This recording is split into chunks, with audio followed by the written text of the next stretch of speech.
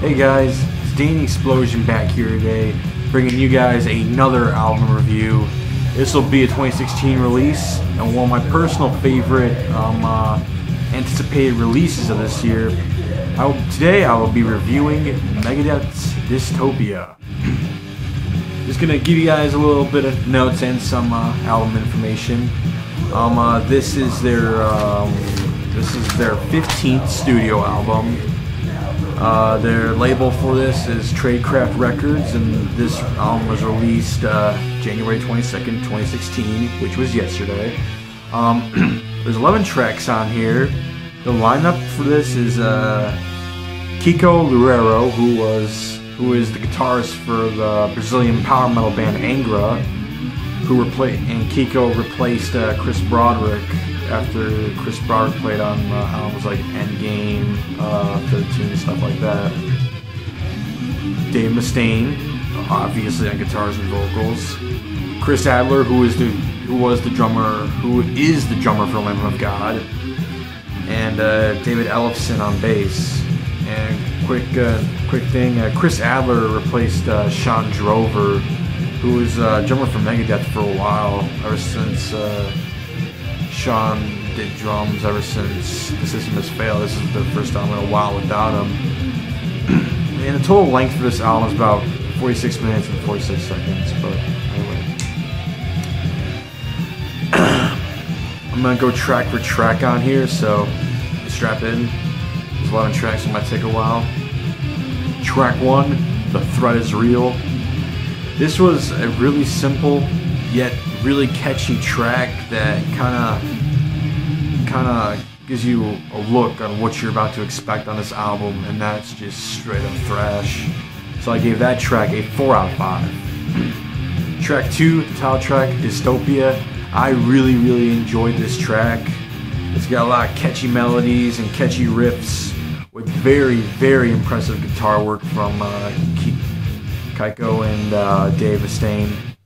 And I just really enjoy this track. This is one of my favorite tracks off this album, so I give this a 4.5 out of 5. Awesome track. Uh, track 3, Fatal Illusion.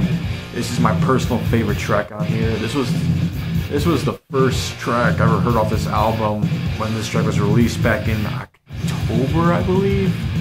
Somewhere around there.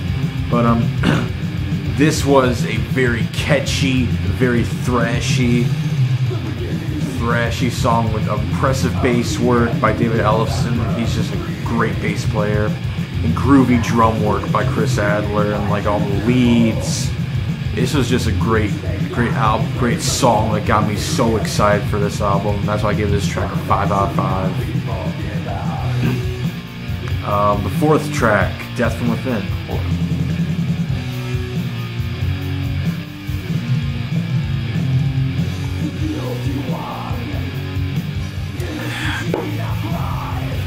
The fourth track, uh, Death from Within. This was a um, another very, very good, very, very good Megadeth track. It just has, uh, you know, that real Megadeth vibe to it that I really, really enjoyed.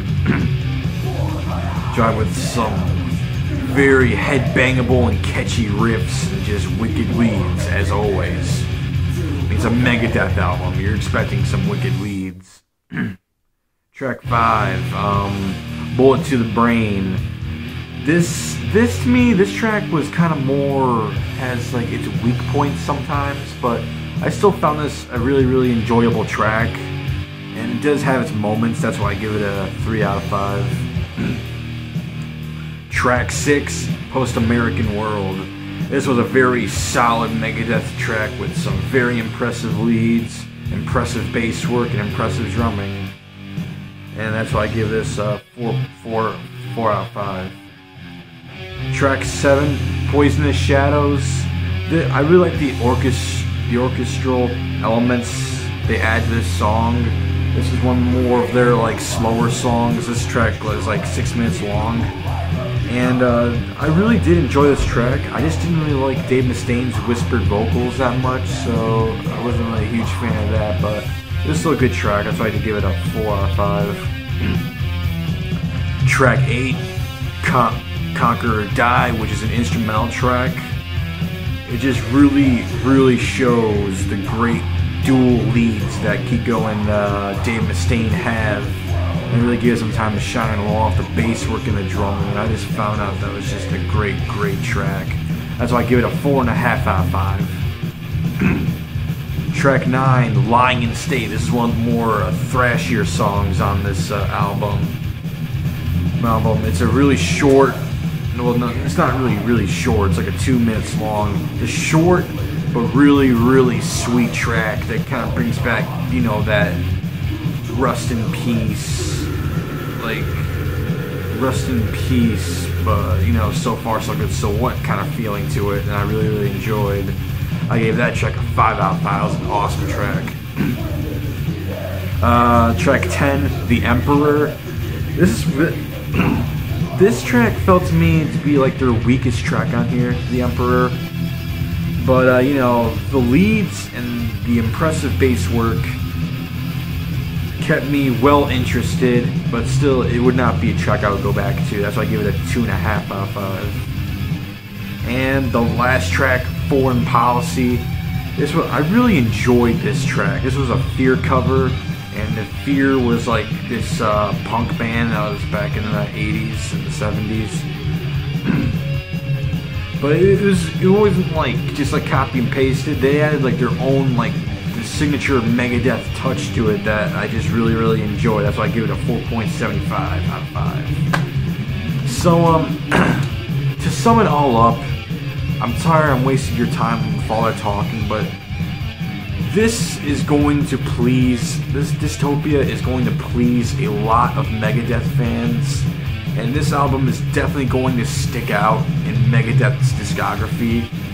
I mean, after Super Collider, I mean, I know that people really didn't have that that much high expectations for Dystopia when they first released to the press that you know they were going they were going to um uh, they were working on a new album back in 2014, I believe, where they uh, kind of you know announced that, but this album is going to gain back a lot of respect from a lot of Megadeth fans, I know this album has gained back my respect for Megadeth.